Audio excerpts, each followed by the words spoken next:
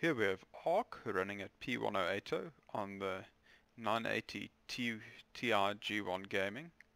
Now this is a serious game for um, testing a graphics card and as you can see we're getting nice playable frames but this is the only game we've even bothered to test at P1080 as it's really at the time of making this video only this and Ashes of the Singularity that really test a graphics card to this point.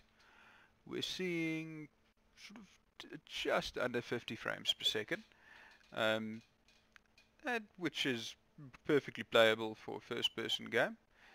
It's not ideal, you can consider lowering it a little bit if you want that stuck at 60 frames per second look but overall very very playable at um, at uh, the setting. If we quickly just lower it from epic to high, we can see what effects that has, and yes, then we're to uh, into the 70 frames per second. So uh, it's you could probably play sort of a hybrid of high and epic for this game.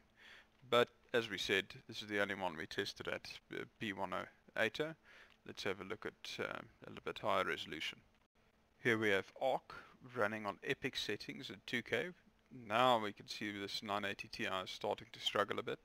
We're seeing high 20 frames per second, sort of just under 30 frames per second, which to some people are playable, but I would say it's a little low for my liking. Let's uh, see what happens if we change it from epic to high. Mm, that seems a bit more friendly. Now we're seeing mid 40 frames per second, which is what we saw on P1080 on Epic. So this would be perfectly playable. You have got some uh, frame stutter a little bit, just which should be expected with this frame rate, but not too bad. I would say this I'd consider playable. If we take it down a notch further and put it on medium, then uh, still seeing sub 60 frames per second, but we're seeing around 50. So 50 frames per second is acceptable. This is at 2K, so for 2K that's um, probably alright. Here we have ARK running at 4K on epic settings. Ooh, okay, we're getting attacked by something there. But uh, this is not looking very good. As you can see the frame, the gameplay is very, very blurry. And we only saw about 15 frames per second there. Let's try a little lower. Let's just get back in the game.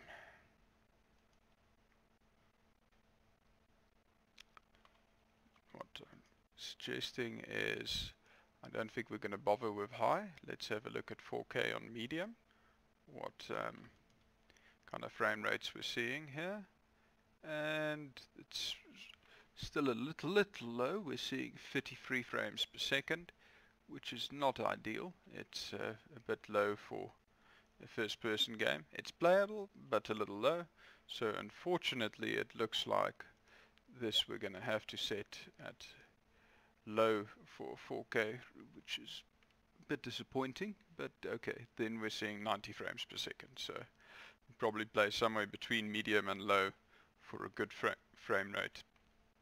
But this 980 Ti is a very powerful card and just demonstrates how much resources this game really requires as it's only really this game and um, uh, Ashes of the Singularity which we found to be a problem at 4K with this um, this graphics card.